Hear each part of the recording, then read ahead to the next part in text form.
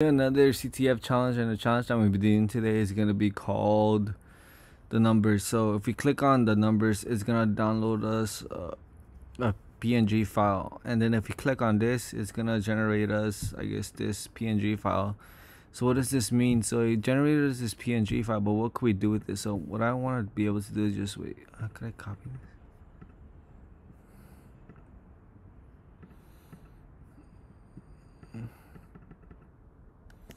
Copy this and just like think about it for a bit. So it's called a number so what do we do? So one thing that comes into my head when I see numbers like that is like I think of 16 so what is core correlated with the number 16 so I'll just look at that.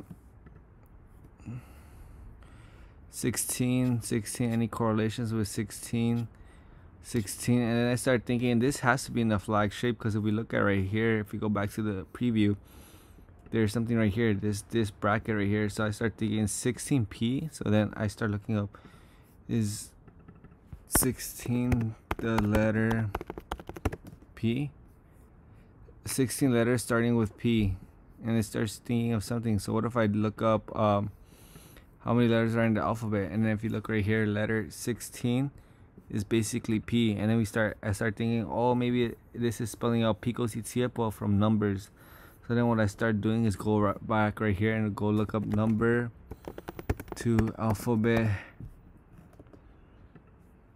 cipher. And then I just look up letter number code. So if I just start copying this right here and then since this is a Mac this should be easier to copy.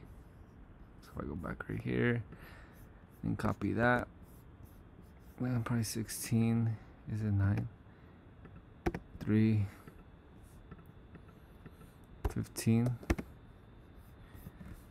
and then if I go back right here 16 9 3 16 9 3 326 326 so 326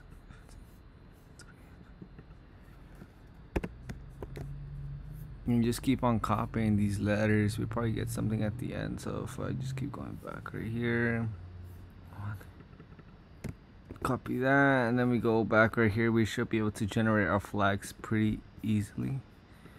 So if I go back right here add a space right there now we have the entire thing. So now if I try decrypting this we get Pico CTF father number Mason. So if I just grab this and put this right around here and then I guess we get the hint. So that's gonna be the flag format. Pico CTF at the number Mason. Mason so if I just submit the flag we get sorry Pico CTF uh 62085 62085 oh 62085 6